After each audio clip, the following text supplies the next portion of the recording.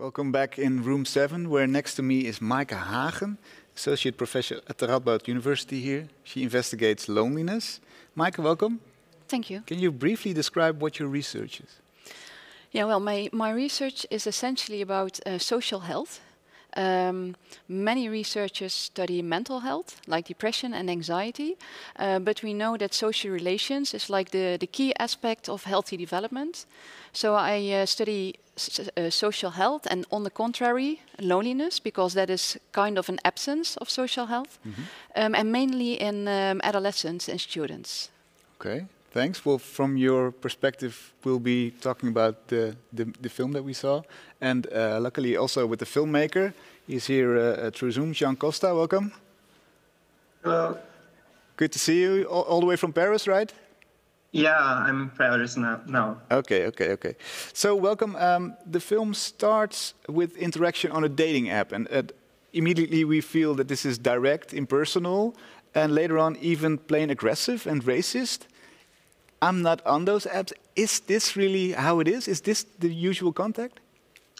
Um, I don't know if it's uh, like that for everybody, but it was it was my experience in Corsica. Hmm. Um, all the messages that you see in the in the film, the, that was messages that, that were messages that I received in Corsica when I was there uh, on dating apps. apps. Wow. So um, like the conversation with the guy that uh, tells me that that I'm uh, very sexy and like a, a sexy Latino and uh, that I have a tan. It, it's it's a real conversation, and in in the, in the same conversation um, at the end, when I decided not to to meet him, he told him that uh, that I was like uh, an ugly um, yeah. ape, and uh, it was like, like that. So I just um, um, put all this together in my film, all my experiences in Corsica, in Corsica I put it in, in, my film. So you have also, in real person, met the Oracle, this this this yeah, character, yeah. which yeah. was very interesting, drawn like a tarot card. I thought that was really beautiful done, and he's really willing to invest in a one-on-one -on -one conversation, in a relationship. Is that um, the the significance you wanted to show between, uh, well, maybe the way people interact pre-dating apps and uh, now that we have the dating apps? Is that the distinction? Um, actually, I don't think it, I don't think it's like that. People people met before uh, directly like that, but they can do that uh, now with dating apps. I usually I used to do that. Um, actually, what what I intend to do in Corsica, it was like what I did uh, before in, in another countries, in another cities. Um, when I arrived, I always try to make contact with people uh, that lives there, uh, that live there, to, to know where can I go, or um, where are the parties, where are the gay, gay spaces. And I tried to do that in Corsica, but it didn't uh, work because there are no like gay uh, public gay life in Corsica, and it was the difference. And I I could do that uh, like in Portugal. I lived in Portugal and I could do that. I could do that in um, Netherlands and even in in Berlin and uh, everywhere.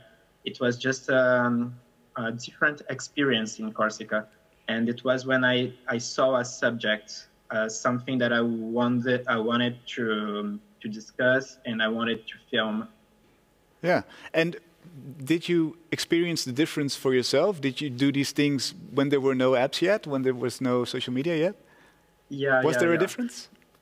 Yeah, it was different different because I was in Rio de Janeiro, my city, mm -hmm. and because I'm from Brazil. So um, in, in Rio de Janeiro, we are very open to that. So we just um, flirt like uh, directly with with people. Like I saw someone that pleasures me, so I, I try to make eye contact or something like that, and it's kind of different uh, when you you are in the applications like uh, Grindr because um, there are people that are searching for looking for like relationships, but the the dating app um, almost force you to to do something sexual in the in the application. Ah. It's kind of different, you know.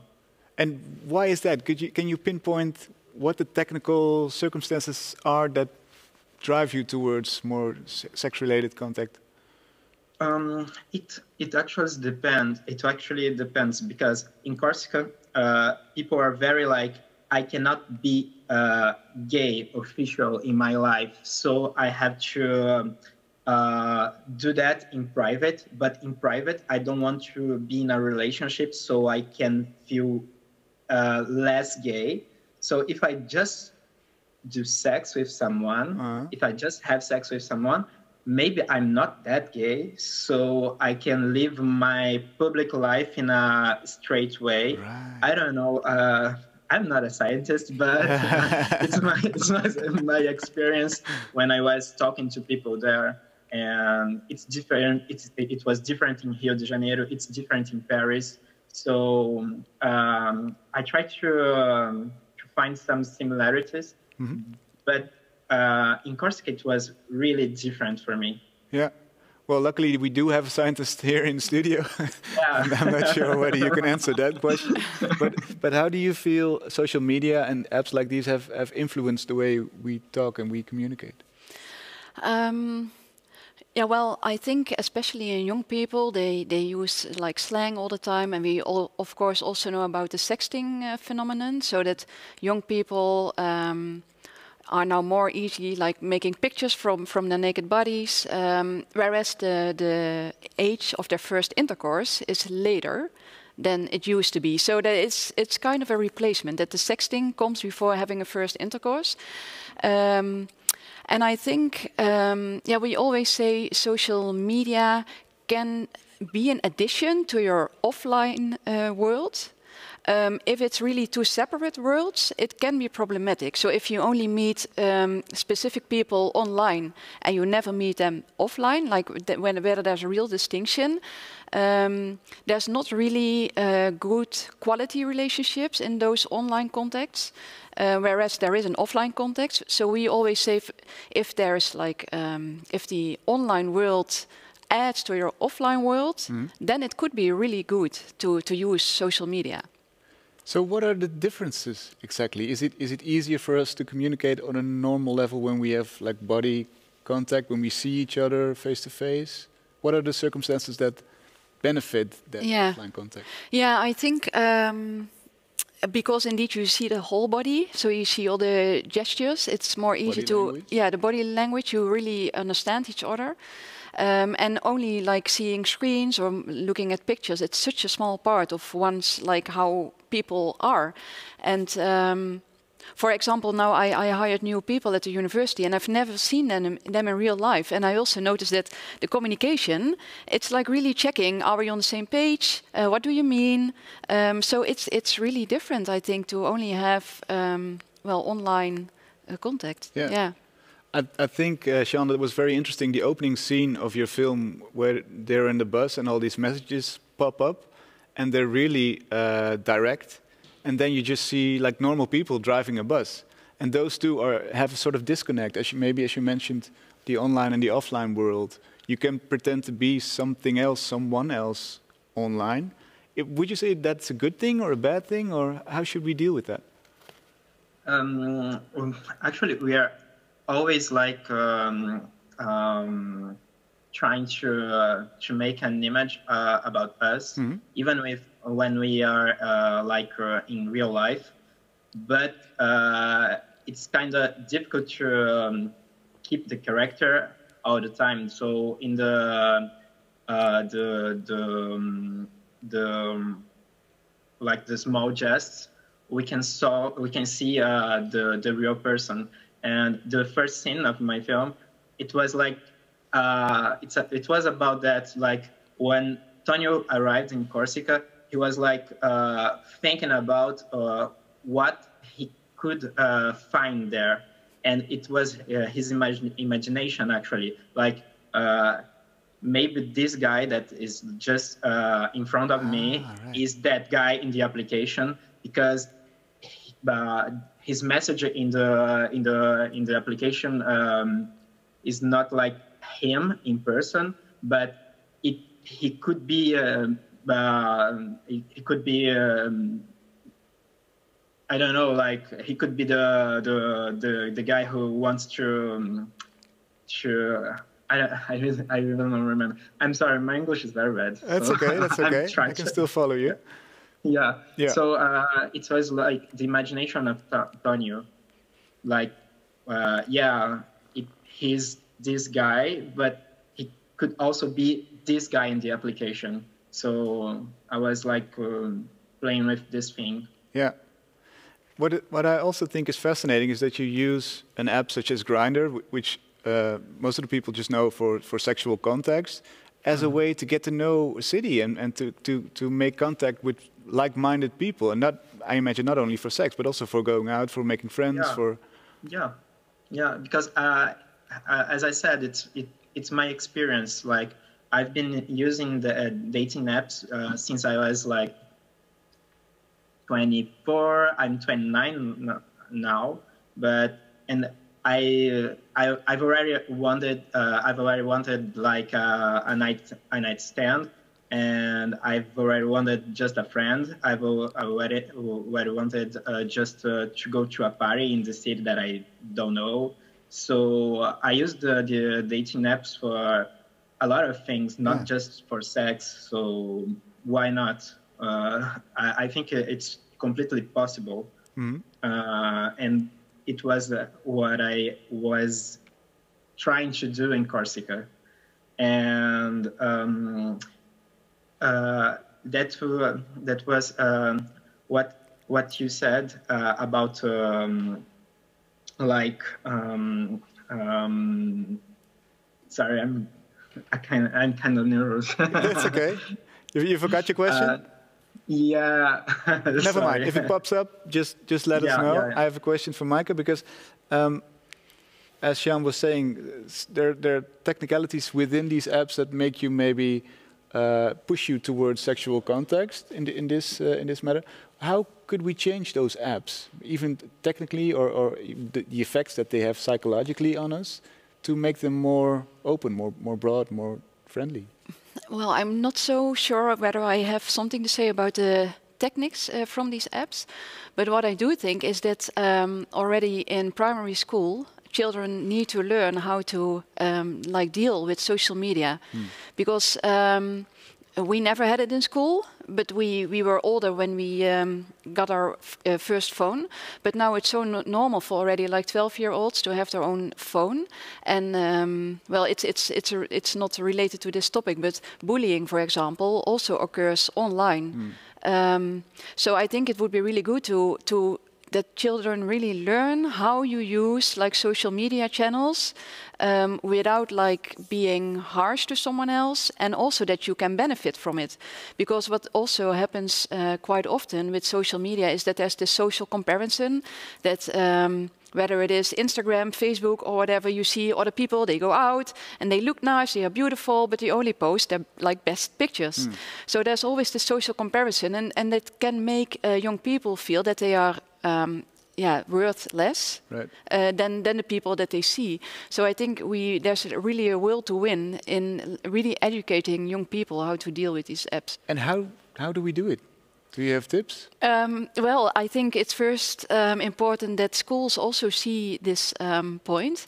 Mm. what I always hear is that they have to teach already such a lot that including uh, like how you use your phone or how you do um, well on social media is just too much to also do in school. Yeah. So I think this also really needs a, a change in thinking. Like, what do we find important, and maybe times have changed. Mm. So we are not only offline people anymore, we are really also online people. And I think schools are quite outdated in that respect. So, what are the tips that I should give to my six year old cousin? Um, to deal with these things? Not Grindr, I imagine, but no. some other social apps. Yeah. Um, don't trust everything that you see or read. Mm. Um, Yeah, and I would also say, I think to my children, be honest about who, uh, what you feel and who you are, instead of indeed having this character that you you act like being someone, but then if people meet you in real and you are not really that character or you don't even look like the best picture that you ever posted, mm. then people also kind of scare away from you because you are not the person that you yeah, were saying to be. Yeah. So there's, uh, yeah. So honesty. Yeah, but I think it's really difficult because if all their peers in class are also not honest, yeah, then you are like this, uh, the like the little nerd maybe in class who is showing his uh, ugly pictures or saying I feel bad. Um, yeah. Yeah. So that is the social comparison idea. Yeah. yeah. Jean, in in the movie, uh, I think we do tend to value the real connection more. I mean, that's how the film ends in a beautiful scene with with two people just being together, and and their cell phone is miles away. Is that in in the order you think you think of it? Is is real contact the first thing, and then somewhere underneath there's digital contact? Um, yeah, it's kind of that. Yeah, I think I, I thought about that when I was filming, and when when I when I had my encounter with the the the real oracle. So for me, uh, my film is not like just about sexuality, but it's about an an encounter and how we can connect with people. Can, can we connect to people um, today? So yeah. yeah. So how would you like to change Grindr if you were uh, to speak the boss with, within five minutes? You could call him and just say, "Okay, change this and this and this." Um, I don't know if I want to change Grindr. Maybe the um, the publicity in Grindr, like with the standard uh, guys and like very sexual things, because I actually don't mind if it's a sexual application mm-hmm. or if it's just an, an application to uh, to go on dates or to go to parties. Um, I think we we can um, build our our application. You know, like we are there. Like I'm there. Um, another gay person uh, is there. So it's just the way we. Uh, are used to connect to people that have to change. And it's not Grindr, It's Grindr, It's on Grindr, but it's on our society in general. Like if people were uh, were not that conservative in Corsica, maybe they use uh, they they could use the the application in another way. Yeah. I don't know. You know, like it's not the, just the application, but it's the society in general. Yeah. Yeah. Absolutely. Um, so Maaike investigates loneliness. That, that's her topic. How, how, would you relate loneliness to your short film? Um, as I said, like it was my experience in Corsica. I've been in in France um, for almost five years, and it was the first year that I was like lonely. I, I was not with my friends. I was not with my boyfriend. I was just me, lonely in Corsica, in another island uh, that I didn't know, and I was really lonely. And it and I, we had the lockdown, and it was in the lockdown that I uh, that I wrote my my screenplay, and uh, the film is about some someone that is lonely in a, in a place that that he doesn't know, and he's trying uh, to make a connection. So Tonio is a lonely person. Yeah. Um, he's a foreign and a stranger in there. He doesn't know the codes of the island, and he's just trying to know the codes to make a friend or to um, have a date or to have something. He just wants to have something there. Hmm. Yeah. Maaike, any any thoughts on on loneliness and apps like these? Any any way to deal with them or?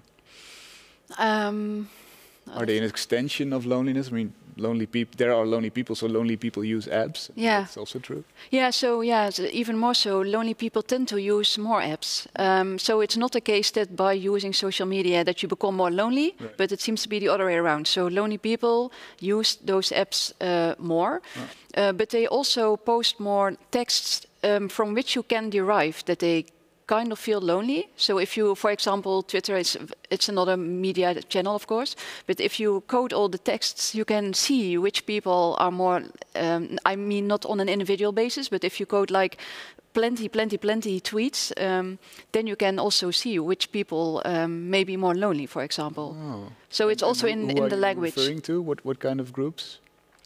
Um, well, that could be that could be any group. I think any any minority group um, has an increased risk of feeling lonely.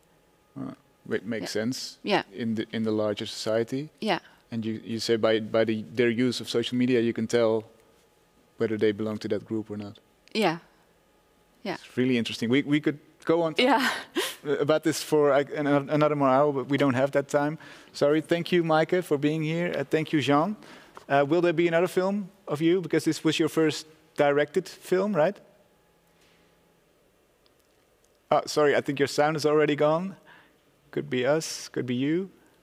Uh, ah, there you are again. It was my first film, yeah. and it was my graduation film. So, are you working on something else?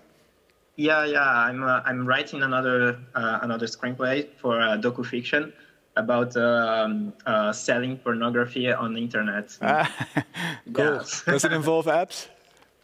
yes, yes. It involves uh, a website actually, OnlyFans. Okay, great. Sounds yeah. great. Well, uh, hopefully finish it for next year, and we'll talk to each other uh, in one year.